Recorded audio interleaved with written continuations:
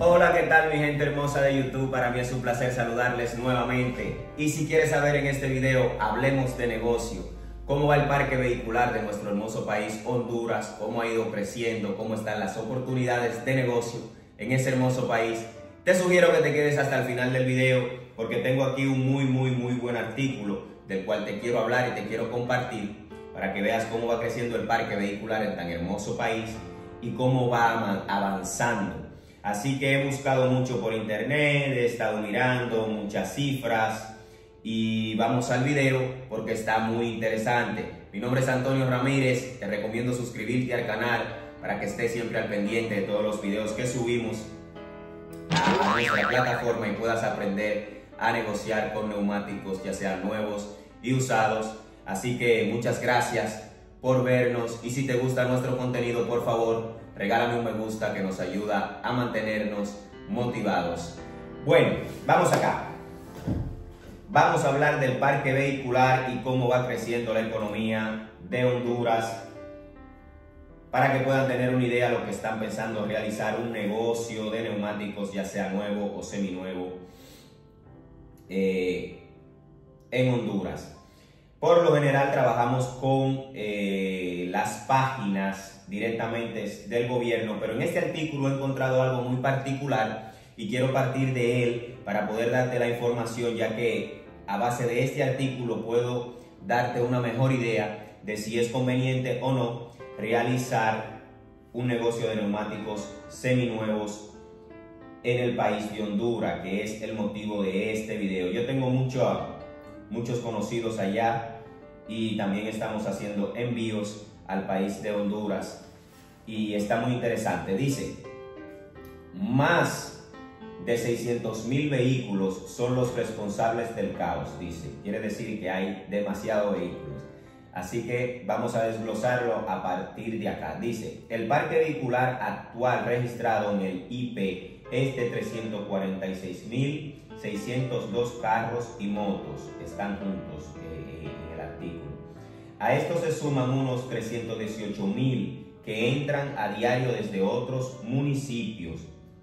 Eh, estamos hablando de la ciudad, quiere decir que de otros municipios a San Pedro Sula están entrando alrededor de 318 mil vehículos diarios. Quiere decir que si tienes una llantera, no solo vas a dar buen servicio, no solo vas a dar servicio a las personas de San Pedro Sula, sino que también con esa concurrencia de vehículos diarios de otras ciudades vas a tener mucho más posibilidad de vender porque no, no vas a estar concentrado solo en la venta de la ciudad.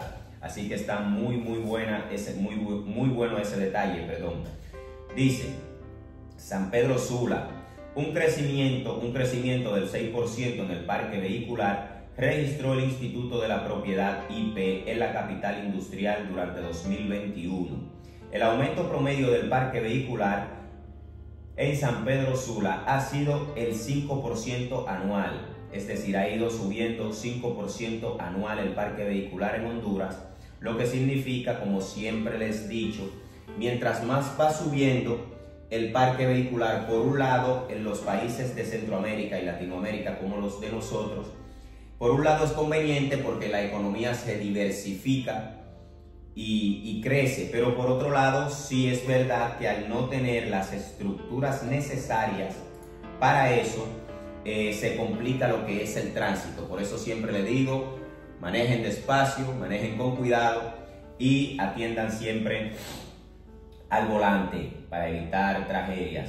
Y sigamos acá. El año pasado, el IP registró un parque vehicular de 346.602 carros y motocicletas, es decir, un crecimiento del 6% en comparación con el 2020. Creció un 6% más en comparación del 2020, que ustedes saben que fue un año muy, muy frenado, finales de 2019, principio del 2020, por lo que fue la pandemia. Seguimos acá. De acuerdo con datos de registro vehicular en el 2021 tuvieron nuevas inscripciones de 7.026 carros y motos usados y 11.850 autos y motocicletas nuevas. Aquí voy a hacer otro énfasis. Aclararle a mi gente de Honduras. el parque vehicular, de, eh, eh, cuando aumenta, perdón, el parque vehicular de vehículos usados, para los que vendemos neumáticos seminuevos es más ventajoso.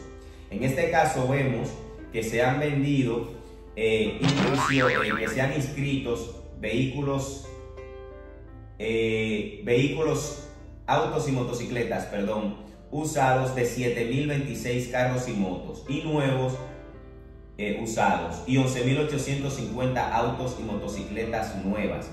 Aquí, a diferencia de otros países, como ya lo, he mencionado en algunos videos, no está muy conveniente para los que son los neumáticos seminuevos. ¿Por qué? Porque se han inscrito 11.800 vehículos nuevos que como ya ustedes saben, ese tipo de cliente opta por lo general en comprar neumáticos nuevos y solo se inscribieron 7.026 carros y motos usadas. Es decir, no, perdón, estuvieron inscritos carros, motos usados. Ok, sí. Quiere decir que los que venden neumáticos seminuevos en esta ocasión, en este país, yo recomiendo que también deben de tener en su, en su tienda neumáticos nuevos. ¿Por qué? Porque van a tener una gran demanda, demanda de neumáticos nuevos debido a que el parque vehicular de autos nuevos es más creciente que el parque vehicular de vehículos usados. Así que deben de tener eso en cuenta cuando vayan a poner su llantería. Deben saber que deben tener neumáticos nuevos. ¿Para qué? No es obligatorio, sino yo le estoy hablando en base a mi poca experiencia. Le estoy hablando para que puedan dar un servicio mejor y más amplio. Porque hay en comparación con 6.850 a 7.000, hay una diferencia grande de vehículos nuevos. Quiere decir que van a haber muchos vehículos nuevos en la calle y ese tipo de cliente por lo general monta llantas nuevas cuando compra un vehículo nuevo. ¿Entienden? Entonces seguimos. Deben de tener muy pendiente que sería bueno en su negocio también vender neumáticos nuevos. A esto hay que sumarle la cantidad de carros que ingresan por negocios a la ciudad, que de acuerdo con expertos sumará los 300.000 unidades diarias procedente de Choloma, La Lima, El Progreso, Puerto Cortés y Villanueva. Muy buen dato acá, muy buen dato. Quiere decir que tienen una recepción de vehículos de otras ciudades de 300 mil. Los que estén ubicados en la ciudad, en el centro, van a tener muy buenas ventas porque no solo van a acaparar un, un, un público local, sino que también tienen una entrada de los pueblos aledaños de 300 mil vehículos, así que eh, va muy bien por esa parte. Y si esos vehículos en tránsito se, se, le daña un neumático, pues en esas ciudades que van a acudir a recibir el servicio. Así que seguimos con el hermoso país de Honduras. Dice, Heriberto Hernández, presidente de la Asociación de Importadores de Vehículos Usados, declaró que la baja en la compra y venta de vehículos usados que se dio en el 2020 debido a la pandemia quedó atrás. Es decir, que en la actualidad hay un aumento de más del 30% del número de los carros que están ingresando al país, en su mayoría proveniente de los Estados Unidos. Como le venía hablando, perdón,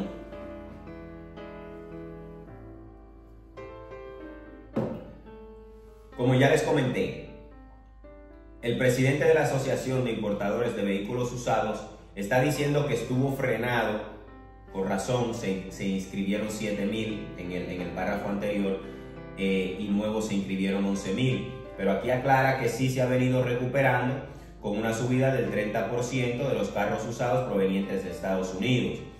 Así que va creciendo el parque vehicular de autos usados que para los que venden neumáticos seminuevos es muy, muy beneficioso. Así que seguimos aquí. Hernández detalló que están llegando entre 60 a 70 automóviles diarios hace dos años. Es decir, están entrando a un promedio de 190 vehículos usados. Muy bien, muy bien.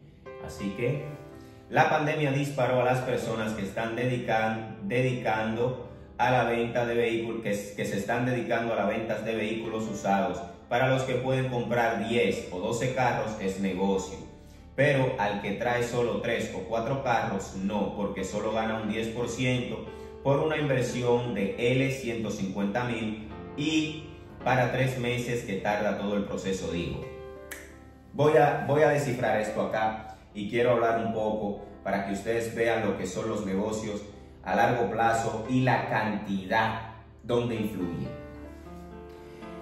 Aquí dice el presidente de la Asociación de Importadores de Vehículos Usados que para el que compra de 10 a 12 vehículos sí es negocio, ¿por qué? Porque recibe mucho más cantidad de vehículos y cuando lo recibe pues tiene margen a seguir vendiendo y seguir importando durante esos tres meses que dura todo el proceso de importación del vehículo al país. Aquí tenemos algo comparativo con los neumáticos.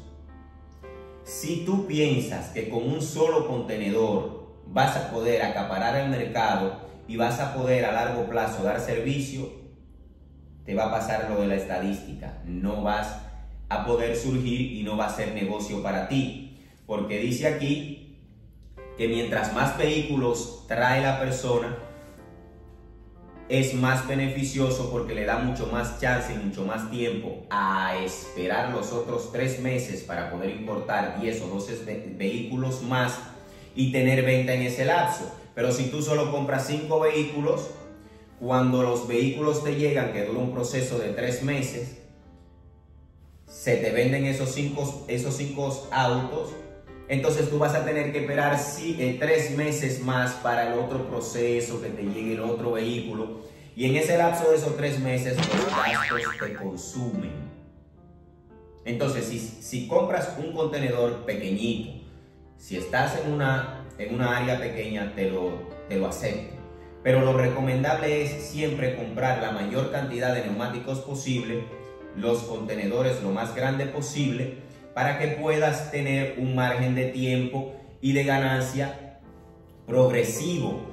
Traíste un contenedor de 40 pies, estás vendiendo, pero en ese proceso que vendes, debes ya de ir organizando la compra del otro contenedor para que no dures mucho tiempo sin neumáticos y sin numeraciones en tu negocio.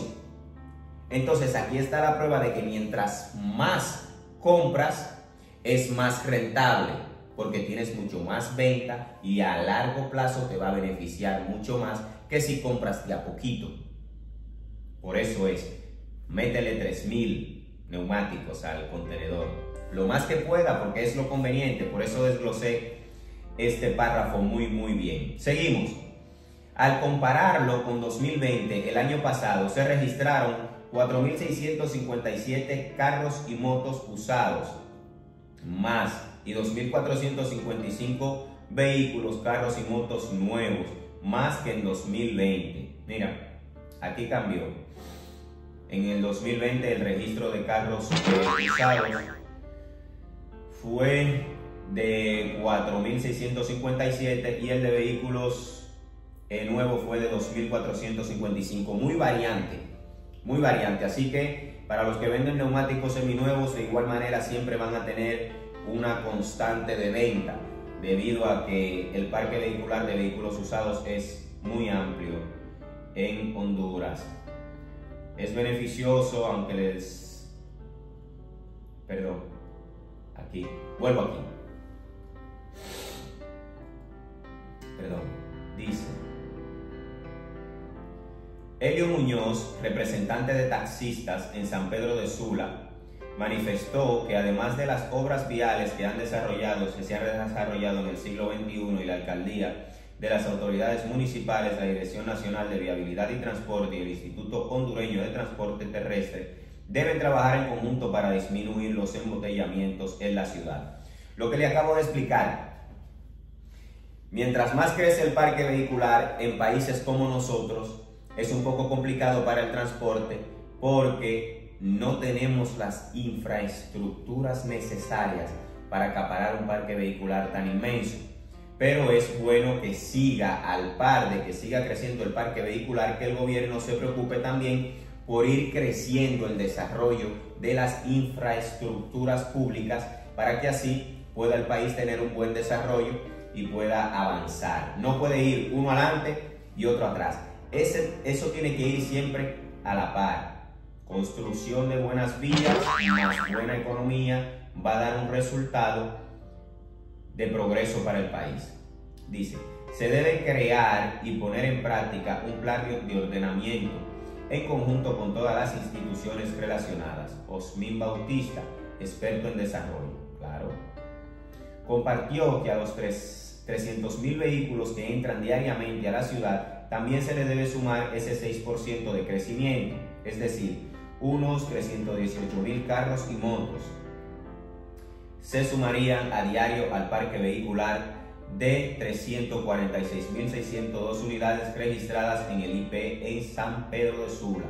Recordemos que las 24 horas que están haciendo, perdón, en San Pedro de Sula. Perdón, ese, ese párrafo lo quiero, lo quiero un poco desarrollar acá. Están entrando 300.000 vehículos aparte de lo que ya están, ya le comenté un poquito de eso. Si estás bien ubicado y tienes buen servicio en Honduras, vas a tener a largo plazo muy buenos beneficios trabajando con neumáticos. Recuerden siempre lo que le digo, todos pueden vender, todo depende de cómo tú trates a tu cliente, de qué mercancía tú tengas, de qué calidad y que tengas siempre las numeraciones correctas para que puedas tener un buen desenvolvimiento en la venta de tu negocio. Así que hablemos de negocio en el país de Honduras para los negocios de neumáticos, sean nuevos, seminuevos, usados, yo veo un futuro a largo plazo. Porque aparte de que, como dicen, se están buscando ya métodos para poder mejorar la infraestructura, también el parque vehicular de ventas de vehículos usados no se detiene, sigue subiendo, al igual que el del vehículo nuevo.